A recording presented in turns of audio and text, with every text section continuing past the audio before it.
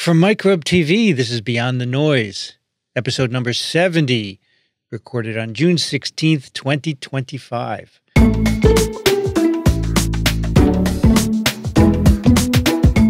I'm Vincent Racaniello, and joining me today is your host, Dr. Paul Offit. Hi, Vincent. This is the video version of Paul's column on Substack called Beyond the Noise, cutting to the chase on important health topics. Today, we'll talk about Paul's column called Don't Trust the Old FDA, Trust Us. Sounds like a bad car dealer commercial. okay, let's go. What so Marty Makary uh, the head of the FDA, and Vinay Prasad, the head of CBER, which is the division that regulates vaccines, wrote a New England Journal of Medicine opinion where they claimed that there's been a loss of trust in vaccines. And what's their reason for this? Well, they believe there's been a loss of trust in vaccines because we haven't done placebo controlled trials when we have every new COVID vaccine each year, which updates it to the circulating strains. And that they believe that by doing a prospective placebo controlled trial in otherwise healthy 50 to 64 year olds with each new update, that that will restore trust. And while they're right that I think there has been a loss of trust in vaccines, I think that has nothing to do with why there's been a loss of trust. They also claim that limiting the vaccine to 65 and under will restore that trust as well. Um, well, first we'll we'll cover that. First of all, are they correct that public trust in vaccines has declined? I, I think it has to some extent declined. Yes, um, if you look at national polls, the sense is that that it has declined. That there are uh, states now that are considering eliminating non-medical exemptions like philosophical or religious exemptions. I think there's a pushback clearly on vaccine mandates. I think the word mandates has become a dirty word. And I think it, it, was a consequence in some ways of the first couple years of the pandemic. I think in 2020, when we didn't have anything, we didn't have monoclonals or antivirals or vaccines till the end of 2020. Um, what did we do? We shuttered schools, we restricted travel, we closed businesses, um, we isolated, quarantined, masked, social distance. And I think there were some that really felt that was government overreach. And in 2021, we ha- when we had a vaccine and you couldn't go places like your favorite bar or restaurant or sporting event, um, or you were fired from your job or place of worship, um, you couldn't go. There was again this sense of massive government overreach, and I think that um, that we're we're feeling the result of that. I think we're feeling the result of that in many ways. I think that it was um, it became easier to vilify vaccines when we did that, um, and I think we did lose some trust. All right. So, how will requiring placebo controlled studies for yearly COVID vaccines, how is that going to restore that lost trust? I don't think it will restore it at all. First of all, we do know from the last, say, three years, we have done um, retrospective uh, trials looking at people who did or didn't get the uh, updated COVID vaccine to see whether or not it was of value. And, and of course it was. I mean, the, at least for a few months, you were protected against mild to moderate disease. Um, and it was really independent of age and risk factor. So you have that information. And also in terms of safety, there's probably been 2 billion doses of this vaccine that have been administered. I would argue we don't know that this, that we know more about this vaccine than any vaccines we've ever had before. So I think we have that information. The other thing about doing a prospective placebo controlled trial on otherwise healthy 50 to 64 year olds is that I don't think you can ethically do that study. A, a, you know that the virus is circulating. You know that this vaccine will be of some value. You know that a uh, 50 to 64 year old, uh, although at not at high risk, is at some risk. And could you really conscience say a few people in the placebo group having serious or even fatal disease? I don't think you can conscience that, given uh, what you know about this vaccine already. Well, they have no conscience, Paul, and so they will just rewrite the rules saying you can do you can withhold standard of care, which is what we're saying would have to be done, right? Right. In terms of, of safety, they make a big deal about this. And you say in your piece that no vaccines have been better studied, right?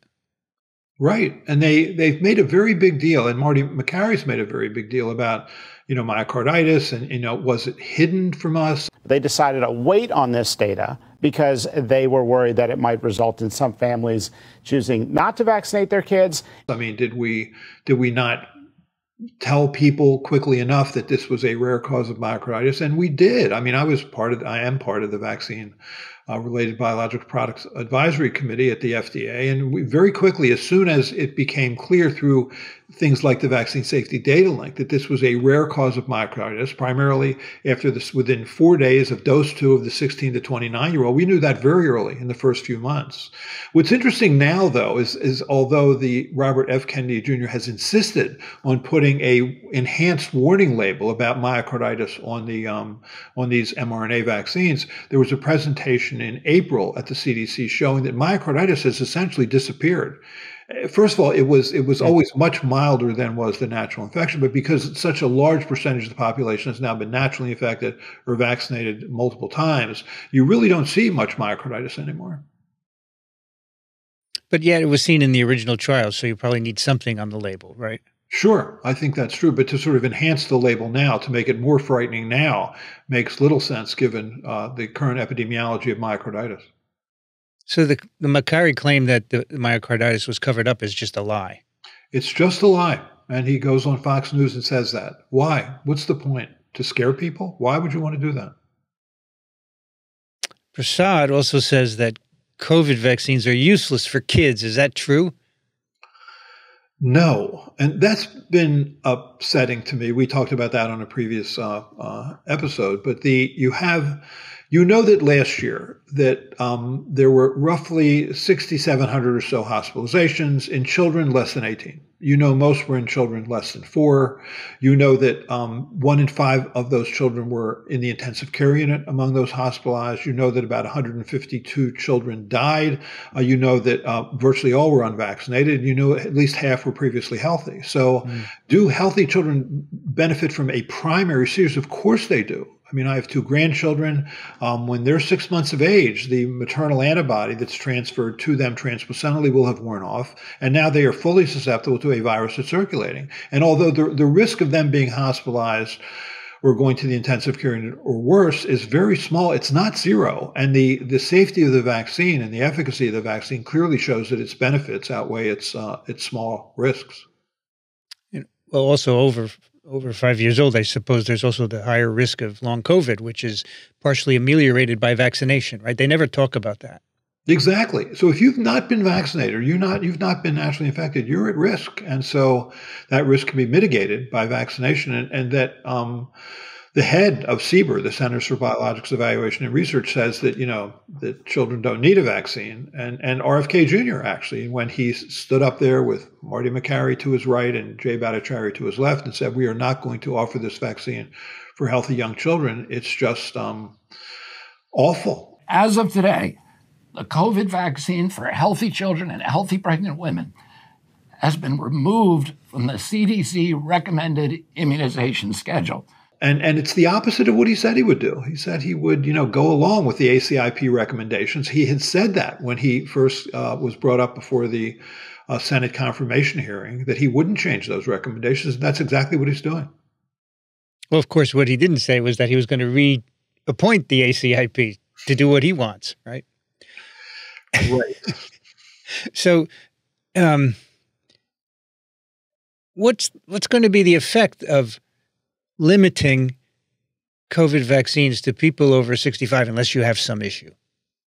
Well, and, if we, so, so the vaccine would be um, would be licensed for those over 65. It would be licensed for those under 65 who were in one of what were 23 listed high risk conditions. The question is, how about people who can reasonably choose to get that vaccine? One for the issue of long COVID, which you mentioned, or because they're taking care of an elderly parent, or they're taking care of a a child who has cancer, uh, will they be able to get the vaccine? Uh, will insurance companies pay for it? And if insurance companies can't don't pay for it and they can't afford it, what's going to be the result of this? Yeah, of course they uh, also removed pregnancy from the high risk category, and and that's even worse. We're the only country in the world that doesn't consider pregnancy to be a high risk condition for severe COVID. What I don't understand, Paul, is we're not talking about mandates. Okay, that's their theme that we overreached. Okay, fine. But the, the, when the ACIP makes the decision. It's a recommendation. It is not a mandate. So why not let people still have a choice? I don't understand that. I think what happens is is that for school entry requirements, you can't require a vaccine for school entry that's not recommended. You can't. And so if you don't recommend it, if you say shared clinical decision making, then that eliminates mandates. And I, I really think where they want to go on this is the Project 2025 thing for the CDC, which is the CDC is no longer a recommending body, that we just throw it back to the parent doctor interaction and let them decide. But the minute you do that, you're saying that that vaccines just aren't necessarily important, that you could reasonably choose not to get any of them. And I think that's really where they're heading. Wow. None of this can have a good outcome. No, I think I think what's going to may save us, and I'm an optimist, but I think what may save us is that there are groups now like the American Academy of Pediatrics, which which always make recommendations about vaccines. Those groups are now working with insurance companies to make sure that if they make a recommendation, that that, that also has the same strength as if the ACIP made the recommendation. So it's, it's not really a shadow ACIP because the the AAP, American Academy of Pediatrics, does that anyway. But there are other groups like American College of Obstetrics and Gynecology or American College of Physicians. Those groups then can have recommendations that have the strength of an ACIP recommendation because the ACIP has just been blown up and now has people on it that are like um, Robert F. Kennedy Jr., um, anti vaccine activists and science denialists and conspiracy theorists. Yeah, as you as you wrote somewhere, I saw an interview with you. The ACIP has now lost the confidence of the medical establishment for certain. Uh, they've lost the confidence of the medical and scientific establishment. If you look at the people who are now giving advice, these are not people who you would trust. And I think people at the CDC have called me recently and said, you know, I just don't know if I can continue to work here. I feel like we've lost the trust of the American public. And I think that's sad. And hopefully this won't last long. Hopefully we'll get past this phase of our lives. Well, Paul, that's part of the strategy to have Americans lose trust in public institutions, in government, so that then they can take it over themselves. That's exactly right. I, I, think that, you know, when people have asked me to do it, I think Robert F. Kennedy Jr. will, will cause people to lose trust in, in the ACIP or trust in the CDC. I think he was hired for that because he doesn't have trust in the, the in, in, in FDA, NIH, CDC. And so that's why he's in the process of dismantling them. So what would happen if this backfires, if we have a huge increase in infectious diseases over the next few years, do you think, uh, what, what, do you think the anti vaxxers will do then, the Prasads and the Makarys? Most people like vaccines. Most parents want to vaccinate their children. I think if it gets to the point where people are becoming more and more scared about the spread of infectious diseases, and we've had sort of a, you know, certainly a, a large measles outbreak this year. We've had a, an influenza outbreak that's bigger than we've had recently. Certainly more children are dying of pertussis than before. That if parents get scared and more and more scared, that they're, they're willing to go to their congressional representatives and say, this is enough. We, we need these vaccines. And, um, and and because they're the voters. I think in the end this is a political problem and it requires a political solution, and that's the solution: is to get congressmen uh, scared enough that they actually vote their conscience instead of just their politics. Yeah, people do need to write their senators, their representatives, and object to the uh, the effect of vaccines on vaccines that these policies have. It's interesting that. Um, you know, both Prasad and Makary, you know, they're MDs, correct? Yes. So they have this vague appearance appearance of being credentialed, but if you look closely, Prasad is a hematologist, Makary is a is an oncology surgeon. It has nothing to do with vaccinology, and so you know that's to me that shows it's a shell game, basically. You know, I think they were picked because they were contrarians. They were picked because they clearly would bend a knee to RFK Jr. I mean, just because you're a pancreatic surgeon or a hematologist doesn't mean that you can't be a reasonable person at looking at data. But I think they've already shown their capacity to be contrary to the current um, thinking about, say, COVID vaccines or vaccination. And um, I think that's what got them that position. I mean, for example, Prasad and you quote him in your article says anyone who thinks kids should get covid vaccines should be fired that's not how science works. We don't say because you have a different view, we're going to fire you. Let's talk about it, right? But I think that makes you a social media star. I think by being outrageous that you get much more attention. But I think being the, the, what it takes to be a successful social media star is very different than what it takes to be the head of CBER or the head of FDA. Absolutely. All right, we will put a link to this column in the show notes.